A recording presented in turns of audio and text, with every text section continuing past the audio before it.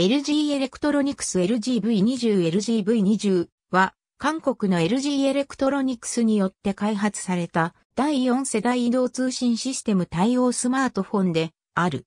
LGV10 の後継機種で同社のフラッグシップモデル LGG5 ベースに AV 機能を強化したモデルとなっている。なお、本機種は世界初の Android 7.0搭載端末となる。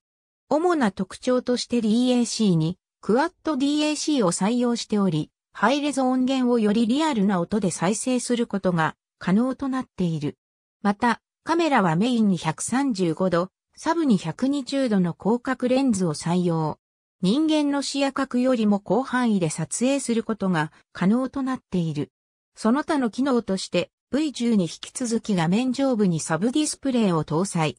画面消灯時にも日付や時間を確認することが可能で、さらによく使用するアプリケーションも直接起動することが可能となっている。